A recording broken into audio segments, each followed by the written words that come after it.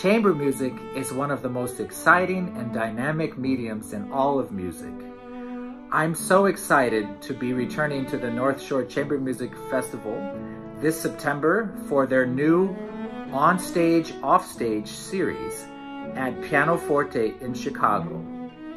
Join Vadim Gluzman, Angela Yoffe, Ilya Shterenberg, William Wolfram, and myself Thursday, September 10th and Friday, September 11th at 7.30 p.m. Most tickets are already sold out for attending these performances live, but you can join us at the address you see now at the bottom of your screen as both performances will be live streamed.